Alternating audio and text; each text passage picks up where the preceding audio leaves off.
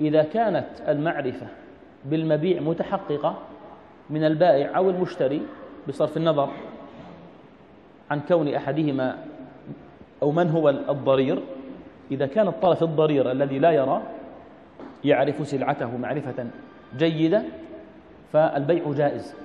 أو إذا هذا بالنسبة للبائع إذا كان البائع يعرف السلعة معرفة جيدة يعني يعرف ما الذي بين يديه. والمشتري إذا وصفت له السلعة وصفا نافيا للجهالة صح البيع. يعني لا بد من وصف السلعة وصفا يمنع الجهالة. طيب وصفت له السلعة وصفا جيدا نافيا للجهالة ورافعا للجهالة ولا ما وصفت له السلعة؟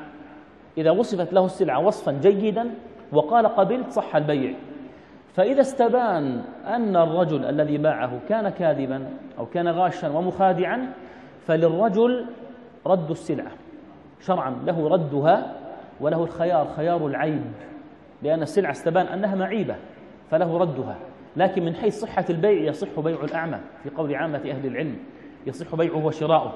بالنسبة للمشتري يجب أن يعرف وصف السلعة وصفا نافيا للجهالة.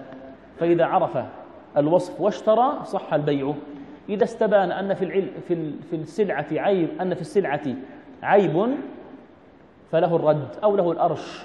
الأرش هو الفرق بين قيمة السلعة معيبة وفي وقيمتها سليمة. فله الخيار إما أن يرد السلعة وإما أن يرضى بالفرق بين السلعة في حال كونها أعني من جهة الثمن في حال كونها سليمة أو في حال كونها معيبة. نعم.